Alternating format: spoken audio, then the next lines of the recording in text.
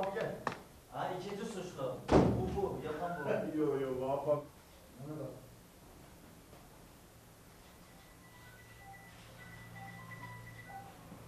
Çok iyi olur. Böyle boş kalsın Süleyman abi o öyle kalsın. Abi gelenler hoş. Malatya'mızın saygıdeğer Ziraat Odası Başkanları, Malatya'mızın çok değerli basın mensupları arkadaşlarım, sözlerime başlamadan evvel hepinizi saygıyla selamlıyorum.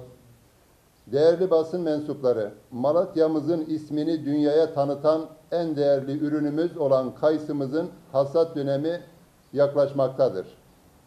Her yıl olduğu gibi 2020 yılında da yine küresel ısınma neticesinde iklim değişiklikleri yaşanmış olup çiçeklenme döneminde e, tozlaşmanın olmadığı, aşırı yağışlardan dolayı monilya hastalığı ve kayısının çoğunun kürkten çıkmaması, akabinde yaşanan don ve dolu afetleri neticesinde bu yıl kayısı rekoltemizin düşük olacağı bir gerçektir ve bu nedenle kayısı fiyatları artış göstermektedir. Tarım Bakanlığımızın bu yıl Toprak Mahsulleri Ofisi tarafından yapacağı destekleme alımı ve taban fiyat açıklaması ile kayısımız hak ettiği değeri bulacak ve borç yükü altında ezilen kayısı üreticimiz inşallah bir nefes alacaktır. Yıllardır kayısı üzerinde oynanan oyunlar ve spekülasyonlar sonucu 3,5 dolara ihraç edilen ürünümüz çiftçiden 1,5 dolardan alınıp çiftçimiz emeğinin karşılığını alamayıp her yıl zarar ederken 100 bin ton ihraç edilen kuru kayısının bedelinin yarısı dahi emek çeken üreticiye yansıtılmadı. Ve durumu öğrenen Sayın Tarım Bakanımız Bekir Pakdemirli olaya el koyarak hayali her yıl açıklanan kayısı rekoltesinin açıklanmamasına açıklanmasına müsaade etmeden rekoltenin Tarım Orman Bakanlığı'nca açıklanmasını sağladı.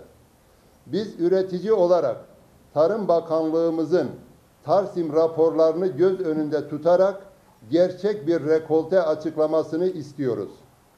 Ticaretçinin çiftçinin malını maliyetini elinden almaması için geçmişte yaşadığımız şişirme rekolteden değil, çiftçinin alın terinin karşılığını alabileceği gerçek bir rekolte açıklanmasını bakanlığımızdan bekliyoruz. Değerli basın mensupları, şimdiye kadar açıklanan rekoltelerin üreticimize hiçbir fayda sağlamadığı gibi üreticinin ticaretçi tarafından tokatlanmasını sağlamıştır. Bu sistem, bu çark böyle devam etmemelidir. Üreten emeğinin karşılığını alabilmelidir. Herkes ürününü yıllardır Toprak Mahsulleri Ofisi'ne satarak ürününü değerinde pazarlarken arkasında bir dayısı varsa Malatya kayısı üreticisinin dayısı da Sayın Cumhurbaşkanımız Recep Tayyip Erdoğan olmalıdır. Çünkü kayısıya sahip çıkılmazsa yıldan yıla üretimimiz azalıyor.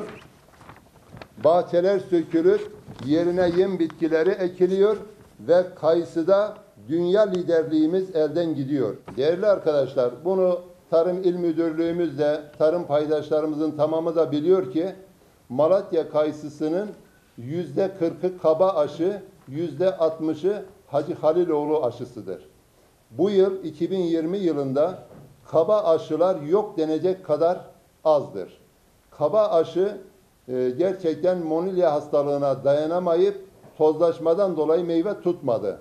Hacı Haliloğlu kayısımız da bu yıl yüzde elli meyve tutmuştur. Aşırı bir meyve tutumu bazı yüksek kesimlerde olsa da esas olan kayısının en çok olduğu Akçada, Battal Gazi, Yazıhan gibi ova bölgelerindeki bahçelerde kale gibi yüzde elli kayısı var.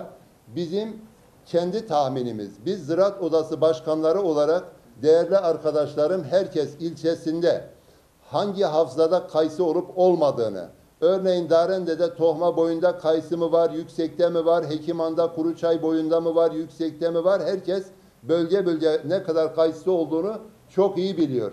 Ama biz Tarım Bakanlığımız çiftçimize bu güzellikleri yaptıktan sonra rakam vermek istemiyoruz. Ama rekoltemizin geçen yıllara göre düşük olduğunu biliyoruz ve geçen yıldan kalan stoklarda fazla bir kayısımız olmadığını da biliyoruz.